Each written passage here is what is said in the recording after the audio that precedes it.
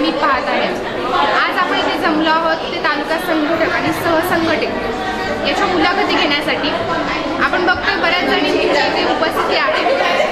सातारा जिल्ह्यातून अकरा तालुके पडतात आणि अकरा तालुक्यांवरती आपण अकरा संघटक आणि त्यांच्यासोबत दोन दोन सहसंघटिका म्हणजे प्रत्येक तालुक्यातून तिघी जणी असे आपण पदाधिकारी काढणार आहोत. तर ह्याच्या मुलाखती आज आम्ही इथं जमलो आहोत अं, ज्या तालुक्यातून जे पदाधिकारी निघतील ते जेव्हा त्यांची निवड होईल निवड झाल्यानंतर आम्हाला आमची युवती संघटनेची राष्ट्रवादी युवती संघटनेची कामं करणं फक्त जरा सोपं जाईल असं मला वाटतं. त्यासाठी आजच्या या मुलाखती आजची ही मीटिंग खूप महत्त्वाची आहे त्या दृष्टीने.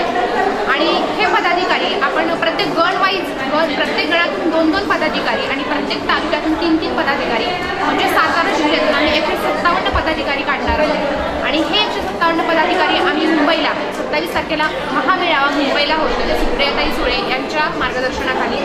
तर त्या महामेळाव्यासाठी यांची एकशे सत्तावन्न पदाधिकाऱ्यांची निवड आम्ही आज करणार आहोत. आणि त्या मेळाव्यामध्ये बरंचसं मार्गदर्शन आम्हाला होणार आहे.